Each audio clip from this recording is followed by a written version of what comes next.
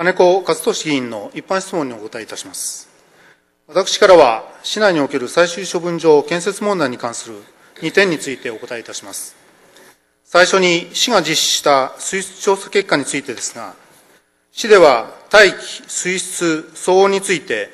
調査地点を定め、モニタリングしているところでありますが、これらの調査地点以外でも、個々に公害の発生源の追及や、地域住民の不安解消のため、地域住民の求めに応じて予算の範囲内で必要な調査を行っているところであります。こうしたことから、本年3月に東山地積の安定型最終処分場周辺を東山地区周辺水質調査として最終処分場からの処理排水1箇所、処分場周辺の河川6箇所、処分場下の及び全く影響のない箇所の湧水3箇所の計10カ所の水質調査を実施いたしました。特に国道20号線を横断する河川については、当期の融雪剤による影響の把握も考慮した地点選定を行いました。検査項目につきましては、河川や湧水の一部は、塩化物イオンや電気伝導率を含む生活環境項目の一部を重点的に、また最終処分場からの処理排水は、河川の項目に加えて、人体に影響を及ぼすとされる重金属類を調査することとしました。この結果、河川及び湧水について、環境基準が定められた項目については、いずれも基準を超える地点はありませんでした。その中で、処理場直下の湧水では、塩化物イオン及び電気伝導率が周辺の河川水や湧水よりも高い値となりました。具体的には、周辺河川水及び湧水の塩化物イオン濃度が1.2から 27mg パーリットルに対し、処分場直下の湧水が 60mg パーリットル、電気伝導率については同じく19から190マイクロジーメンスパーセンチメートルに対し、710マイクロジーメンスパーセンチメートルとなっております。なお、その処分場直下の湧水については、今回の調査では行いませんでしたが、平成24年度に行った重金属類等の水質調査では、いずれの重金属類も検出限界値未満という結果となっております。また、処分場処理排水は、フッ素及びホウ素がわずかながら検出されているものの、他の重金属類については検出限界値未満でありましたが、塩化物イオン濃度につきましては、95mg パーリットル、電気伝導率は1200マイクロジーメンスパーセンチメートルと、処分場直下の湧水と同様に、周辺河川及び湧水に比べて高い値を示しております。塩化物イオン及び電気伝導率につきましては、自然由来なのか、あるいは廃棄物由来なのか、また融雪剤等の影響があるかも含めまして、引き続きモニタリングをしていくとともに、庄司東環境対策委員会等と締結している環境保全協定に基づきまして、事業者が提出している水質検査結果と合わせて今後注視してまいりたいと考えております。次に、市長会における県の説明の内容についてですが、議員がご質問された市長会での県の説明は、本年2月5日に開催された長野県市長会2月定例会の内容と思われます。この会議の議事録をもとに、要点をご答弁申し上げます。この定例会では、県からの施策説明の中で、廃棄物の適正な処理の確保に関する条例について、担当課長から説明がなされました。ここでは、条例の目的、県の責務のほか、主として条例に謳う事業計画協議の内容が説明されました。事業計画協議は、法に基づく施設設置の許可申請に先立ち、事業計画者と関係住民が開かれた場において、十分なコミュニケーションを行い、その過程を通じて事業計画をより良いものとし、もって関係住民との合意形成を図るための手続きである。しかし、最終的に合意形成は絶対条件とはなっておらず、事業計画者が果たすべき義務を果たしたと認められるような場合は、合意に至らない場合でも事業計画協議が終了する場合もあると説明されました。また、事業概要説明会、及び事業計画説明会の内容に触れ、事業計画説明会、当初の場合はこの説明会の前段階で、はありますが、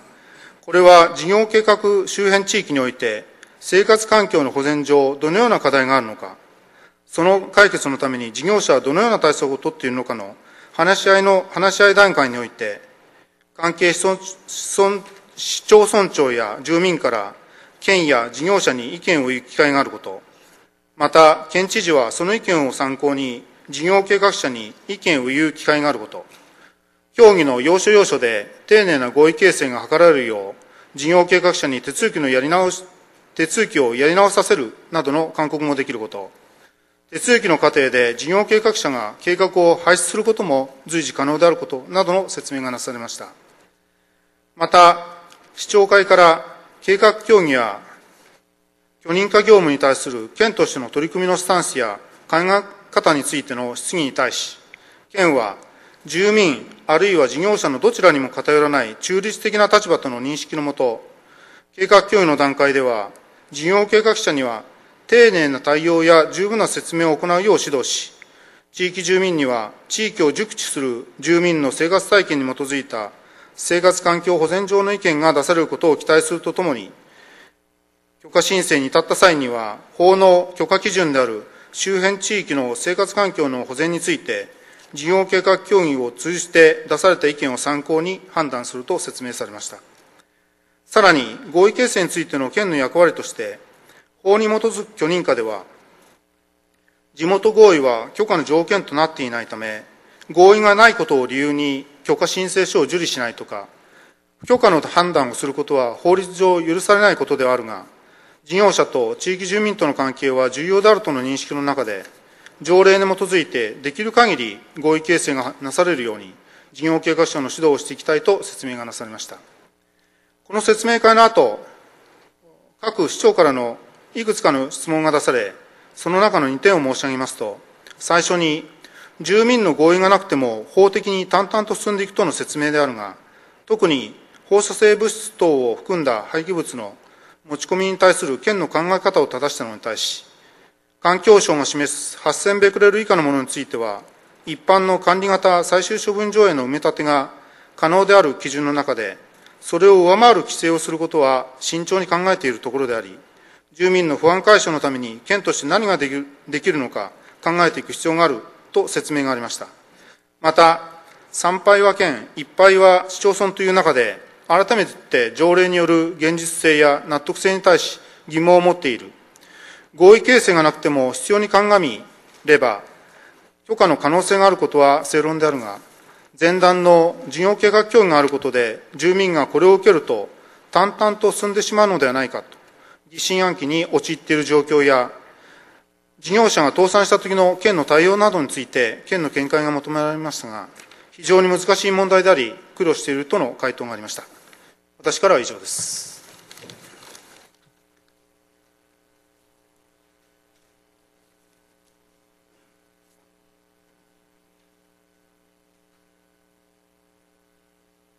健康福祉事業部長。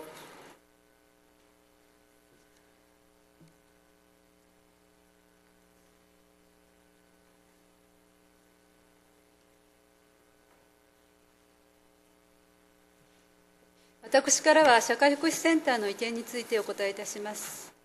社会福祉センターの移転につきましてまず東部県域の地域福祉推進拠点施設整備事業の計画から順を追ってお答えいたします。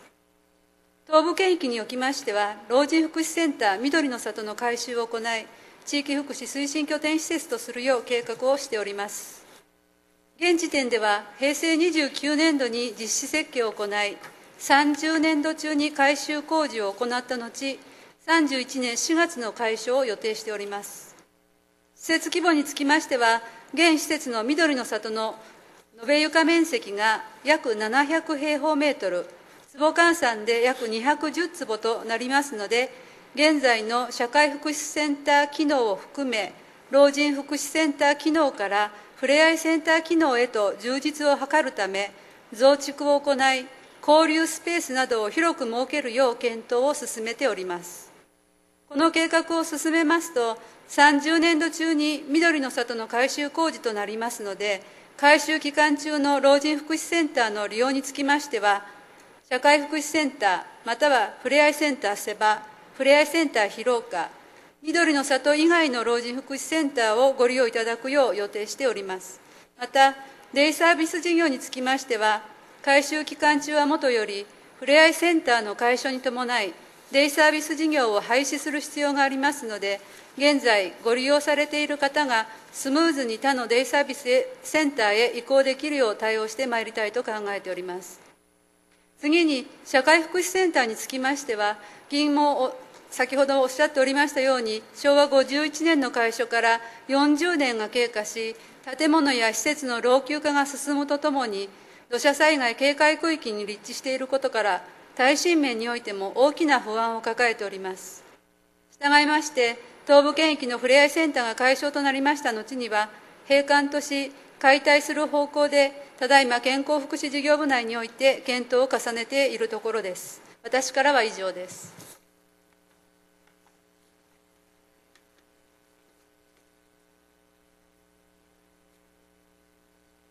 子ども教育部長。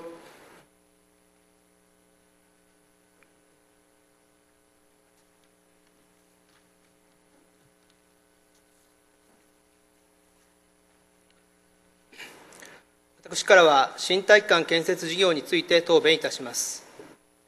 新体育館建設事業については、主な事業手法のメリット、デメリットを整理し、本市の事業におい本市の事業において、どの事業手法が最適であるのか、現在、検討を進めているところであります。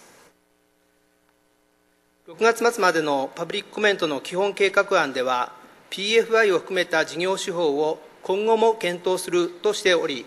しております。PFI 地方につきましては、本市での取り組み実績がないことから、本年4月から内閣府の支援事業により、PPP、PFI の専門家を本市に派遣していただき、事業化の可能性について検討しております。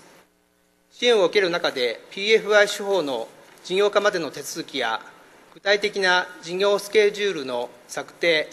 これらに伴う課題整理などを行い、検討を進めております。現在、新体育館建設事業には、どのような政治手法が最適なのか、デザインビルドなどの事業手法と合わせて、メリット、デメリットを整理し、検討を進めておりますが、完成までの事業スケジュールに余裕があるものではないため、現在、内閣府をえ内閣府から指示を支援を受け、6月末まで PFI の専門家の指導、助言を受けておりますので、市議会9月定例会までには状況を報告させていただき、その内容を十分協議いただいた上、事業手法などを決定してまいりたいと考えております。私は以上でございます。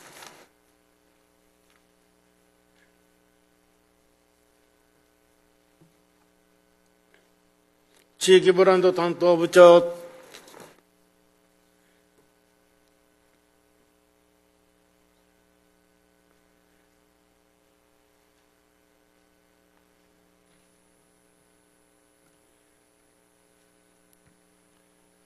私からは、ワイナリーフェスタの状況についてお答えいたします。本年のワイナリーフェスタにつきましては、5月21、22日に開催し、4910人のお客様にお越しいただいております。ワイナリーフェスタは、近年非常に人気が高く、チケットをお買い求めいただけないお客様からは、枚数を増やしてほしいという要望を数多くいただいております。実行委員会で検討を重ねた結果、本年は両日で600枚増やし、5000枚として販売いたしましたが、即日完売という状況でありました。チケット販売の内訳につきましては、プレイガイド等による一般販売が2150枚、コンビニエンスストアの端末による販売が2000枚となっております。また、県外、市外からの来場は、他の観光施設への波及効果や高い経済効果が見込めることから新たな取り組みも取り入れながら旅行商品を取り扱う旅行会社や JR に対しまして850枚を販売し合計5000枚となっております。本年参加いただきました皆様からのアンケートにつきましては現在集計中でありますので昨年の結果で申し上げますと、居住地域については、市外からの来場が約9割を占めております。また、県外からの来場は約4割で、その内訳は関東4割、中京4割、関西1割、その他1割とであり、北は北海道、南は沖縄から参加をいただいております。フェスタの評価といたしましては、9割以上の方が大変良かった、または良かったと回答しており、非常に満足度の高いイベントになっております。2005年に始まりました塩尻ワイナリーフェスタは、本年で12回目を迎えました。当初の数年間は、開催を周知するにするために、松本駅前などでチラシを配布していたことを思いますと、このフェスタは年々進化しながら、非常に大きく成長したイベントであると自負しております。チケット入手が困難という一つのブランドでもあり、他地域の同様なイベントと比較して、市場での優位性は大きくあると実感しております。今後も交流人口の拡大を見据え、地域経済の活性化を目指しながら、拡大を図ってまいりたいと考えております。私からは以上であります。